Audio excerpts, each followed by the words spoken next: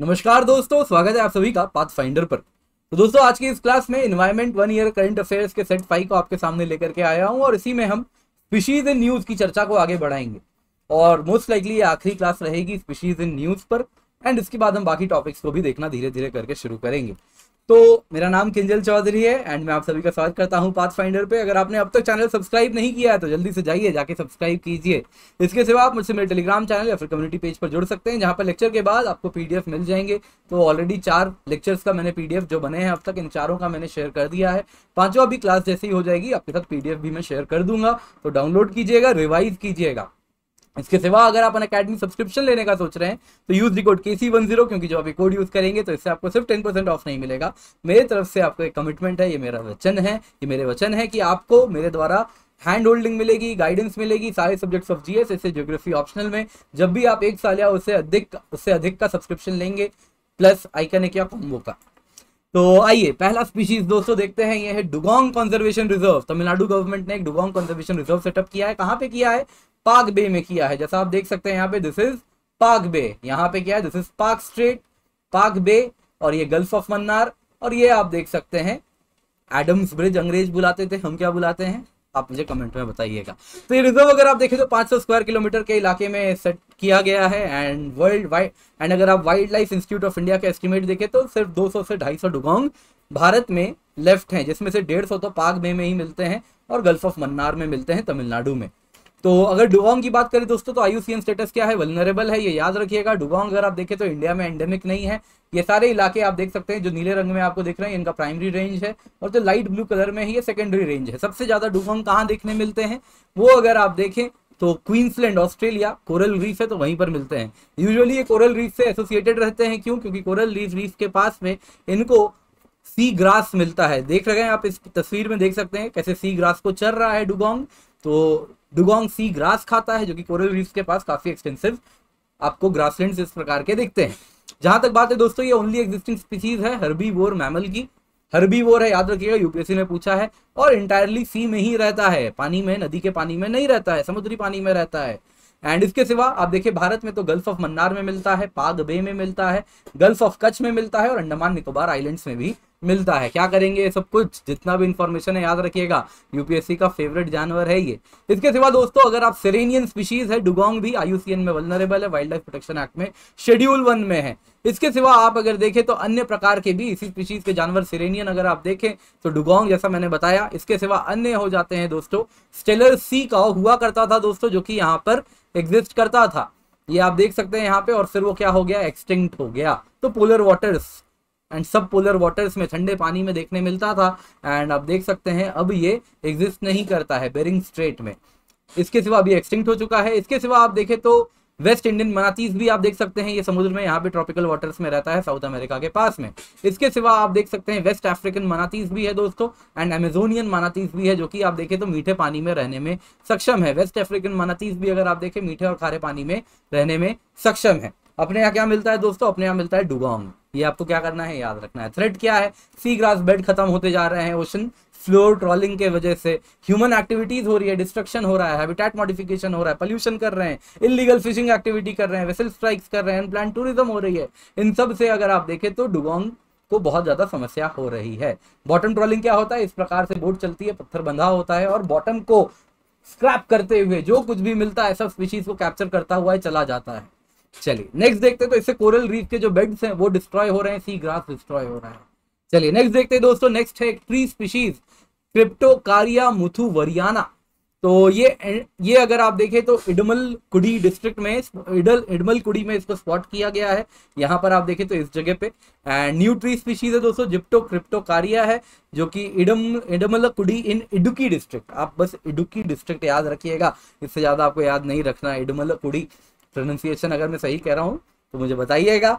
अगर आप केरला से आते हैं तो आप मुझे बेहतर बता पाएँगे। लेकिन इडुकी डिस्ट्रिक्ट है, इतना तो पक्का है। एंड इसका नाम किसके ऊपर रखा गया? ये बड़ा इंपॉर्टेंट है। क्रिप्टोकारिया मुथुवरियाना ये इसका नाम रखा गया है दोस्तों मुथुवर ट्राइब के ऊपर, जो कि इसी इलाके में रहते हैं। रिसर्चर्स इस स्पीशीज के सामने आए, जब ये वेस्टर्न घाट्स में एंडेमिक एंड सिटेंट स्पीशीज को पढ़ रहे थे। तो ये रहा उसका तस्वीर क्रिप्टोकारिया मुथुवरियाना का। तो जिप्टस जीनस क्या है, इसका दोस्तों क्रिप्टोकारिया है, ये साढ़े तीन सौ एवरग्रीन स्पीशीज को इंक्लूड करता है एंड ये वाइडली डिस्ट्रीब्यूटेड है साउथ अमेरिका में साउथ अफ्रीका में मेडागास्कर में एशिया में ऑस्ट्रेलिया में ओशियानिया में, ये करीबन 10 से 15 मीटर की हाइट तक गेन कर लेता है। इसके सिवा आप देखें तो इसमें क्रिप्टोकारिया एल्बा ये प्लांट है और इसमें आप देख सकते हैं, ये लग रहा है जैसे सेब लगे हों इसमें। तो ये सेब नहीं है दोस्तों, इसको चिलियन एकॉन कहते हैं। एंड इसके बहुत ब्रॉड लीव्स नहीं बीच बीच के कुछ लीव्स आपको देखने मिलते हैं। मुथुवर ट्राइब के बारे में भी जान लेते हैं एसोसिएटेड है, क्योंकि इसका नाम रखा गया है मुथुवर या मुथुवरन ट्राइब के ऊपर। तो मुथुवन का जो नाम लिया गया है, मुथुकू से आया है, जो कि मलयालम एंड तमिल लैंग्वेजेस दोनों में इसका मेंशन होता है। एंड मुथुवन ट्राइब्स अगर आप देखें तो ये मदुरई के जो राजा थे, उनके ओबीडियंट सब्जेक्ट्स हुआ करते थे। एंड जब मुथुवन पीपल को डिपोज किया गया तो ये केरला माइग्रेट कर गए और साथ में ये अपने साथ रीगल फैमिली के इमेजेस जो रॉयल फैमिली थी, उसकी इमेजेस लेके वापस आए थे। एंड ये तमिल की ही एक डायलेक्ट बोलते हैं मेट्रीलिनियल क्लैन है।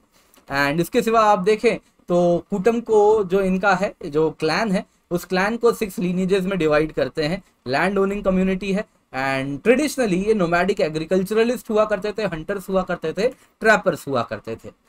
नेक्स्ट देखते हैं दोस्तों, एक माइक्रो स्नेल स्पीशीज की डिस्कवरी हुई है। इसका नाम है जियोरीसा मॉस्माइनसिस एंड ये मॉस्माई जो कि एक लाइमस्टोन केव है मेघालय में, वहाँ पे डिस्कवर किया गया है।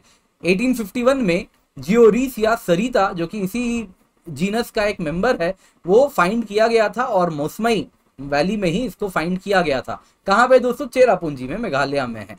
एंड 170 साल पहले इसी जीनस का और एक स्पीशीज डिस्कवर हुआ था और अब और एक नया आया है जियोरिसिया मॉस्माइनिसिस तो जियोरिसिया मॉस्माइनिसिस के बारे में जाने तो दोस्तों दो मिलीमीटर से भी कम इनकी साइज़ होती है। डिस्कवरी अगर आप देखें तो निपू कुमार दास एन ए अरविंद, जो कि Bengaluru based Ashoka trust for research in ecology and environment ATREE उनके रिसर्चर्स हैं और इसका नाम रखा गया है मौसमई लाइमस्टोन केव के ऊपर। अशोका ट्रस्ट आप देख सकते हैं, इसका लोगो भी दे दिया है। मौसमी केव दोस्तों, मैं भी बचपन में गया हूँ और उसी केव में जाके मेरा एक दांत भी टूटा था तो मैंने वहीं पे पत्थर में गाड़ के भी आया था। आई डोंट नो अब होगा या नहीं होगा। कंसर्न्स क्या है दोस्तों? उस टाइम मेरे दांत टूट रहे थे, दूध के दांत। ठीक है तो कंसर्न्स क्या है? कंसर्न्स अगर आप देखें दोस्तों तो केव में अगर आप देखें तो इसकी यूनिक इन्वायरमेंट है, जो कि यूनिक फॉनल डाइवर्सिटी डाइवर्सिटी को हार्बर करती है। तो बहुत सेंसिटिव है इन्वायरमेंटल कंडीशंस को लेके, लेकिन यहाँ पे एंथ्रोपोजेनिक एक्टिविटी बढ़ती जा रही है। मेरे जैसे टूरिस्ट वहाँ बहुत गए हैं, बहुत जा रहे हैं। और उस टाइम तो मैं आपसे आज से करीबन करीब 25 सत्ताईस साल पहले की बात बता रहा हूँ। अब तो दोस्तों वक्त काफ़ी बदल चुका है। अब तो टूरिस्ट नॉर्थ ईस्ट इंडिया बहुत ज़्यादा एक्सप्लोर करते हैं, घूमने जाते हैं। तो अब तो बिल्कुल अलग ही बात होगी, वहाँ पे एंथ्रोपोजेनिक एक्टिविटी कितनी ज़्यादा होगी माइनिंग भी हो रही है केव टूरिज़्म बहुत होता है वहाँ पे। और इस वजह से जो एनिमल्स वहाँ पे रहते हैं, उन पर नेगेटिव इम्पैक्ट होता है, उसका यूनिक इन्वायरमेंट कहीं ना कहीं डैमेज हो रहा है। दोस्तों, जब उस केव में जाते हैं तो मुझे आज भी याद है, सात या सात साल का होऊँगा मैं, सात आठ साल का होऊँगा। तो एक टॉर्च बड़ा सा देते हैं और उसके साथ हम जाते हैं अंदर देखने। तो वो जो आर्टिफिशियल लाइट है और वहाँ पे जो सीमेंट किया गया है फ्लोर को तो उन सभी से आप अगर देखें तो ये टूरिस्ट फ्रेंडली हो रहा है मौसमाई केव, लेकिन वहाँ के जो स्पीशीज हैं वो इसके लिए सफ़र कर रहे हैं। तो वहाँ पे five species of cave dwelling snails को रिपोर्ट किया गया है मेघालय में। एंड और भी हो सकता है स्पीशीज आने वाले दिनों में हम डिस्कवर करें। मौसमी केव क्या है दोस्तों? लाइमस्टोन केव है। चेरापुंजी से चार किलोमीटर दूर ईस्ट खासी हिल डिस्ट्रिक्ट में है। मौसमी केव 1195 मीटर्स की हाइट पे लोकेटेड है। एंड अगर आप देखें तो यहाँ पे नदी किंशी नदी है जो ओरिजिनेट करती है ईस्ट खासी हिल डिस्ट्रिक्ट से। आप देख सकते हैं दोस्तों, ये रहा वेस्ट खासी ईस्ट गारो एंड यहीं पे आप देखेंगे तो वेस्ट खासी हिल्स एंड ये रहा ईस्ट खासी हिल्स जिसमें शिलोंग भी आता है। शिलोंग भी यहीं पर। नेक्स्ट दोस्तों एक है न्यूज़ में ब्लैक टाइगर ब्लैक टाइगर जो कि बस सिमली पाल में पाया जाता है। तस्वीर में भी आप देख सकते हैं। तो स्टडी ने फाइनली फाइन किया है कि आखिरकार ये टाइगर काले कैसे पड़ गए हैं। तो इनको ये डार्क स्ट्राइप पैटर्न कहाँ से मिल रहा है? और साइंटिस्ट का कहना है, दोस्तों ये वार्निंग बेल है। तो ब्लैक टाइगर की सबसे पहली तस्वीर आप देख सकते हैं, जेम्स फोर्ब्स ने इस प्रकार से यहाँ पर बनाई थी। तो 1773 का आर्टिस्ट जेम्स फोर्ब उन्होंने एक ब्लैक टाइगर को पेंट किया था केरला में। तो क्लेम्स अब आए थे म्यांमार से भी 1913 में, चाइना में 1950 से। और फिर फाइनली 1993 में, लेकिन अब तक ये कहानी थी, लेकिन जब कंफर्मेशन होता है 1993 में एक ब्लैक टाइगर के स्किन को कन्फिस्केट किया जाता है। और दिल्ली के national museum of natural history में आज भी ये डिस्प्लेड है। इसका ओरिजिन अब तक नहीं मालूम ये कहाँ से आया था। इसके सिवा आप कैमरा ट्रैप भी आ चुका है सिमली पाल में, अगर आप देखें तो आठ में से तीन टाइगर ब्लैक हैं। तो ऐसा क्यों हुआ है दोस्तों? तो ये रेयर कलर वेरिएंट जो टाइगर का है, ये कोई अलग टाइगर का स्पीशीज नहीं है, ये कोई डिस्टिंग स्पीशीज नहीं है। ये नॉर्मल टाइगर में डार्क और ब्लैक कोट आया है और इसके पीछे कारण है सुडो मेलेनिस्टिक और फॉल्स कलर्ड पिगमेंट इसको कहा जाता है। नंदनकानन जू में भी ऐसे जानवर देखने मिले हैं, रांची जू में भी है, चेन्नई के अन्ना जूलॉजिकल पार्क में भी है। दोस्तों, ये जो डार्क कलर्ड कोट है, जो ब्लैक कलर का आप देख रहे हैं यहाँ पे, जो ब्लैक कलर का आप देख रहे हैं यहाँ पे, ये जो डार्क कलर्ड कोट है, इसके पीछे कारण बताया जा रहा है दोस्तों कि ये म्यूटेशन से हुआ है। हुआ यूँ है कि जो टाइगर ब्लैक कलर का होता है, उसको रात में ढूंढना उतना आसान नहीं होता है तो हंटर्स उसको हंट नहीं कर पा रहे हैं। तो इस वजह से वहाँ के जो टाइगर्स है वहाँ पे इवोल्यूशनरी ट्रेड देखने मिल रहा है, जो कि वो कुछ डार्कर इन कलर हो रहे हैं। कुछ वैसे ही, जैसे कल मैंने आपको बताया था हाथियों के बारे में, अफ्रीका की जो फीमेल हाथी हैं, उनमें अब दांत गायब होने शुरू हो रहे हैं तो कुछ वैसे ही इवोल्यूशनरी ट्रेड देखने मिला है। तो ये रिसर्चर्स जो है दोस्तों national centre for biological sciences से हैं। उनका कहना है कि ये जो रेयर म्यूटेशन है जीन्स का, ये क्यू और टैक्पेक जीन में हुआ है आप बस क्यों समझिएगा। इसके सिवा ये जो जेनेटिक म्यूटेशन है, ये सिमली पाल में देखने मिल रहा है। 60 परसेंट ऑफ़ सिमली पाल के टाइगर अगर आप देखें तो उनमें ये जीन देखने मिलता है। और ये चिंता का विषय है, चिंता का विषय इसीलिए है दोस्तों, क्योंकि ये जो सिमली पाल के टाइगर है, वो इन ब्रीडिंग कर रहे हैं तो जेनेटिक मिक्सिंग नहीं हो रही है। तो यही जीन बार बार डोमिनेट करता जा रहा है, और जो नए टाइगर के बच्चे हो रहे हैं, उनमें भी ये जीन्स काफ़ी डोमिनेंट निकल रहा है और उनमें भी ब्लैक कलर का इस प्रकार का सिन स्किन देखने मिल रहा है। चिंता का भी विषय है दोनों तरीके से, क्योंकि हंटिंग की वजह से हो रहा है। और दूसरी तरफ़ आप देखें तो इन ब्रीडिंग भी ये प्रूव कर रही है, उन टाइगर्स में हो रही है, यानी जेनेटिक मिक्सिंग हो नहीं रही है। जेनेटिक डाइवर्सिटी नहीं है। याद कीजिए एनवायरमेंट बेसिक जब पढ़ाया था तो बायोडाइवर्सिटी में जेनेटिक डाइवर्सिटी कितनी इंपॉर्टेंट होती है बताया था। तो इसलिए वो जेनेटिक डाइवर्सिटी यहाँ पे देखने नहीं मिल रही है। नेक्स्ट है दोस्तों घोल फ़िश कुछ मछुआरे करोड़पति बन गए। कैसे? तो आइए सुनते हैं। तो फिशर मेरे दोस्तों, चंद्रकांत तरे, पालघर से आते हैं। उन्होंने 157 घोल फ़िश को पकड़ा है। एंड इनको जब बिडिंग हुई तो 1.33 करोड़ में यूपी और बिहार से आए ट्रेडर्स ने बेचा है। तो क्या है ये घोल फ़िश दोस्तों ब्लैक स्पॉटेड क्रोकर फ़िश जो कि पैसिफिक रीजन में देखने मिलती है। साइंटिफिक नेम इसका प्रोटोनीबिया डाइकैंथस है। तो अगर आप देखें तो सबसे एक्सपेंसिव मरीन फ़िश में से ये एक है। साउथ ईस्ट एशिया में बहुत डिमांड है। इसको हार्ट ऑफ़ गोल्ड कहा जाता है क्योंकि ये अगर आप देखें तो इसका जो हार्ट है दोस्तों, इसको सी गोल्ड भी कहते हैं। क्योंकि इसका जो हार्ट है दोस्तों, वो जो खाते हैं, उनमें कुछ मेडिसिनल प्रॉपर्टीज़ होती हैं और कई मेडिसिन बनाने में इसके हार्ट का इस्तेमाल होता है और इस वजह से इसकी कीमत बड़ी ज़्यादा है। कहाँ मिलता है? पूरे के पूरे आप देखें तो इस इंडो पैसिफिक रीजन में आपको देखने मिलेगा। तो इतना एक्सपेंसिव क्यों है दोस्तों? एक तो कारण है कि टेस्ट ईस्ट एशिया में बड़ा मतलब डिलीशियस माना जाता है डेलिकेसी है वहाँ की। इसके सिवा यहाँ पे जेंडर डिवाइड भी है इस मछली में। क्यों? क्योंकि जो मेल फ़िश होती है ना दोस्तों, वो बड़ी महँगी होती है। तीस किलो की मेल मछली चार से पाँच लाख की बिकती है। तीस किलो की जो फीमेल मछली है, वो एक से दो लाख की बिकती है। कारण वो जो हार्ट की वजह से इसकी कीमत है तो जो वैल्यू होता है दोस्तों, वो साइज़ पर निर्भर करता है क्योंकि कितना बड़ा इसका इंटरनल ऑर्गन है, क्या साइज़ है उसकी उसके अनुसार इसकी कीमत तय की जाती है। तो हाईएस्ट ग्रेड फ़िश अगर आप देखें तो Singapore, Malaysia, Indonesia, Hong Kong, Japan export किए जाते हैं।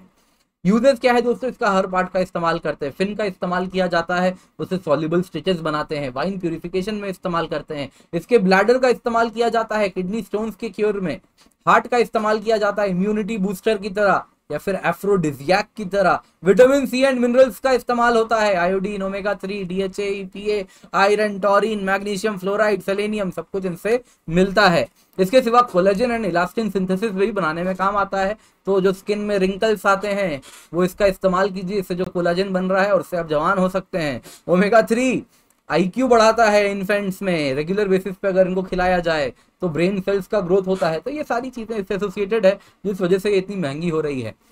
पॉपुलेशन डिक्लाइन क्यों हो रही है दोस्तों? तो मरीन पोल्यूशन हो रहा है, बहुत तेज़ी से डिक्लाइन हो रही है, जिस वजह से फिशरमैन अगर आप देखें तो रेयरली एक या दो घोल फ़िश पकड़ पाते हैं। बहुत रेयर होता है कि आपके नेट में डेढ़ सौ से ज़्यादा घोल फ़िश पकड़े जाए। तो वन फिफ्टी सेवन जो अभी घोल फ़िश पकड़े गए, पालघर के मछुआरे के द्वारा, वो मतलब बहुत ही रेयर फिनोमिना है। बस भगवान का आशीर्वाद है, प्रसाद है।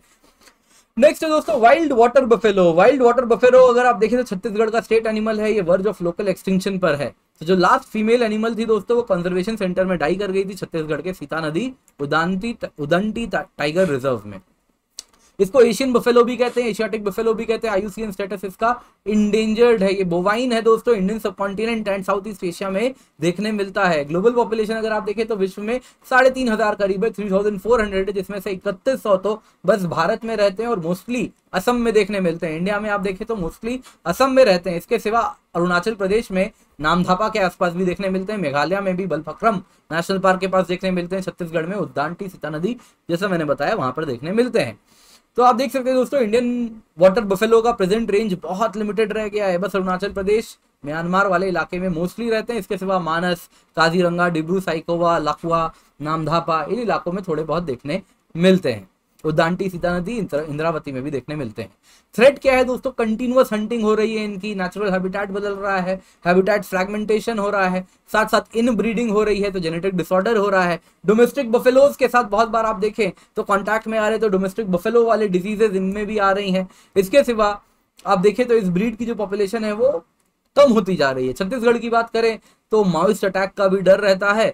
तो इंद्रावती में कॉन्जर्वेशन एफर्ट्स जो डालनी चाहिए थी, हमें करनी चाहिए थी, उस इंटेंसिटी से हम नहीं कर पा रहे हैं। तो कॉन्जर्वेशन सेंटर अगर आप देखें उदंटी सीता नदी अटैक भी किया गया था माओइस्ट के द्वारा कुछ दिन पहले तो वो भी एक समस्या है इसके सिवा।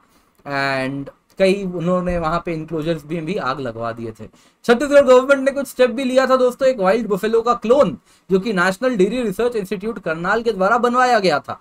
मतलब हुआ यूँ था दोस्तों कि रायपुर में और फिर उसको लेके आए थे। तो करनाल में हमने एक वाइल्ड बफेलो का क्लोन बनवाया था और उसको रायपुर लेकर के आए थे। एंड फिर अगर आप देखें तो ये फिर इसके सिवा आप देखें तो असम से भी कुछ पेयर्स मंगवाए गए थे।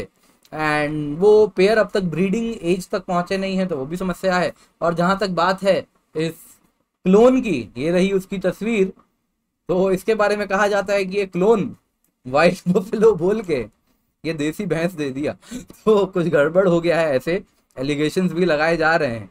तो खैर, तस्वीर उसी की है, आप भी अंदाज़ा लगा सकते हैं ये अपना देसी भैंस है या फिर वाइल्ड बफेलो है, ये ज्यूरी के लिए ओपन है। चलिए नेक्स्ट देखते हैं दोस्तों new cascade frog species discover हुआ है। कहाँ पे हुआ है? डीयू के रिसर्चर्स ने डिस्कवर किया है।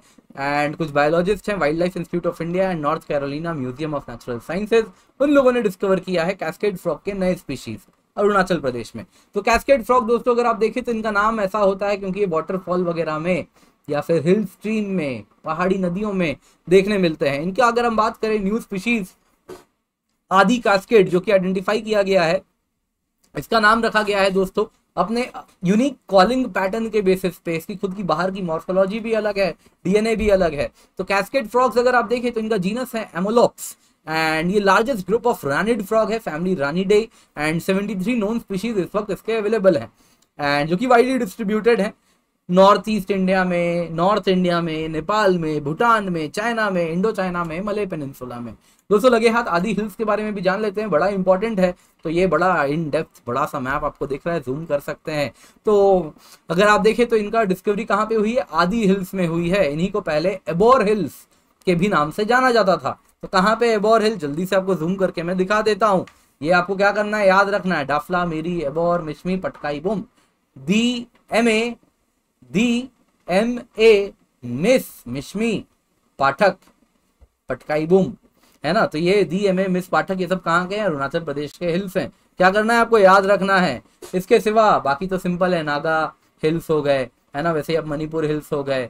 वैसे ही लुजाई या फिर मीजो हिल्स हो गए तो तो नाम याद रखने में भी आसानी होती है। गारो खासी जयंतिया आप सब जानते ही हैं, शिलोंग, मेघालय के प्लेटू के हैं। इसके सिवा असम के मिस्टर बरुआ मिकिर, रेंगमा और बरेल रेंज असम के हिल्स हैं। ठीक है तो अगर हम इन हिल्स की बात करें दोस्तों तो आदि ट्राइब का ये एबोर हिल्स, जिसको हम कहते हैं तो आदि ट्राइब्स वहीं पर रहते हैं। आदि का मतलब होता है हिल और दी माउंटेन टॉप पीपल। तो वो इस नाम से रखा है, आदि ट्राइब्स अरुणाचल प्रदेश के हैं। कहा जाता है ये सदन चाइना में से सिक्सटीन सेंचुरी में भारत आए थे। और अब अगर आप देखें तो ये टिबेतो बर्बन लैंग्वेज बोलते हैं, और इनकी जो पॉपुलेशन है दोस्तों, ये अगर आप देखें तो east Siang lower Dibang valley district में भी देखने मिलती है। आदिज अगर आप देखें तो केन एंड बैम्बू आइटम्स से सामान बनाने में एक्सपर्ट है। एंड अगर आप देखें तो सोलुंग इनका हार्वेस्ट फेस्टिवल है, जहाँ पे एनिमल सेक्रीफाइस रिचुअल्स किए जाते हैं। अरान इनकी हस्टिंग हंटिंग फेस्टिवल है। शिकार किया जाता है, जिसमें male members of the family hunting पर जाते हैं और दो मेजर फेस्टिवल्स हैं, आदि ट्राइब के। इसके सिवा आप देखें तो ये शेड्यूल्ड ट्राइब है अरुणाचल प्रदेश में। तो आप अरुणाचल प्रदेश के डिस्ट्रिक्ट भी देख सकते हैं, दोस्तों, बड़ा इंपॉर्टेंट रहता है।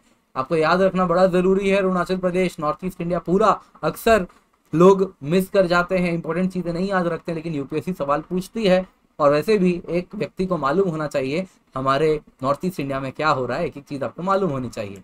नेक्स्ट दोस्तों, देख लेते हैं तो हमें लगता है कि और एक स्पीशीज पे और एक टॉपिक करना पड़ेगा, और एक क्लास लेनी पड़ेगी। तो इसको अगले क्लास में हम कंटिन्यू करेंगे एंड और एक स्पीशीज इन न्यूज़ पर हम सवाल टॉपिक रख लेंगे दोस्तों, कोई दिक्कत नहीं है एंड इसी की कहानी को आगे बढ़ाएँगे।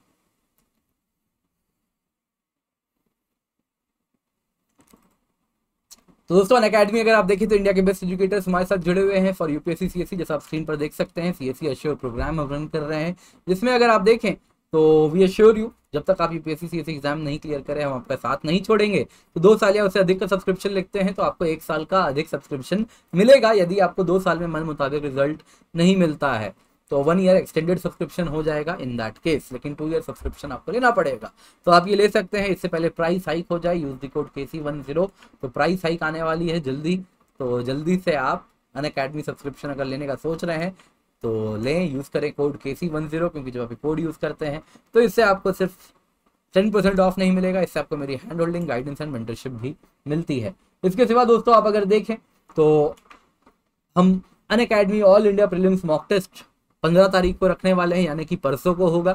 तो इसका फ़ायदा ज़रूर उठाइए। GS paper nine thirty to eleven thirty C set twelve thirty to two thirty P है, ये फ्री ऑफ़ कॉस्ट है। और इंडिया में कई शहरों में करवाया जा रहा है ऑफलाइन ऑनलाइन तो है ही। ऑफलाइन आप देख सकते हैं, दिल्ली एनसीआर प्रयागराज, पटना, पुणे, हैदराबाद, बैंगलोर, लखनऊ लखनऊ, चेन्नई, कोलकाता, भोपाल, इन सारे शहरों में करवा रहे हैं। अन अकेडमी अल्ट्रा कॉम्बैट है दोस्तों, आप देख सकते हैं फ़िल्म 2022 के लिए अगर आप प्रिपेयर कर रहे हैं तो बहुत फ़ायदेमंद होने वाला है। आइकनिक सब्सक्रिप्शन है लाइव मेंटरशिप है स्टडी प्लानर है मेन क्वेश्चन आंसर प्रैक्टिस है ओपन हाउस भी है विद एजुकेटर्स के साथ। जो प्लस सब्सक्रिप्शन है दोस्तों, इसकी एक साल की कीमत है forty six seven nine one rupees एक साल की आइकनिक की कीमत sixty seven zero four one rupees and ये सारी कीमत तब है जब आप code K C one zero use कर रहे हैं ऑप्शनल की एक साल की कीमत है चौबीस हज़ार सात सौ पचास रुपए। इसके सिवा ज़ीरो परसेंट ई में आपको लोन भी दे रहे हैं। पाथ फाइंडर करंट अफेयर्स है दोस्तों मई 2022 का तो इसका भी हिस्सा ज़रूर बने। साथ साथ मेरे बहुत सारे कोर्स चल रहे हैं प्लस कोर्स में इन्वायरमेंट एंड ज्योग्राफी आने वाला है। ऑलरेडी रह चुका है, आप देख सकते हैं। और नया भी इन्वायरमेंट एंड ज्योग्राफी के प्लस कोर्स आते रहेंगे। इसके सिवा यूपीएससी के बैचेज है दोस्तों, जैसा आप स्क्रीन पर देख सकते हैं मई अठारह से स्टार्ट होने वाले हैं। एंड जल्दी से प्राइस हाइक के पहले आप सीट्स बुक कर सकते हैं। अन अकेडमी अगर आप देखें तो इंडिया के बेस्ट एजुकेटर्स हैं। ऑप्शनल सब्जेक्ट आप बदल सकते हैं, क्योंकि बहुत सारे ऑप्शनल का बास्केट आपको मिलता है ऑप्शनल सब्सक्रिप्शन में। फ्लेक्सिबल आर से लर्निंग की डेली आंसर राइटिंग प्रैक्टिस है। साथ साथ आपको प्रिंटेड कॉम्प्रीहेंसिव नोट्स है प्रीवियस ईयर क्वेश्चन वगैरह भी जिसमें हम कवर करते हैं। तो thank you so much for joining have a great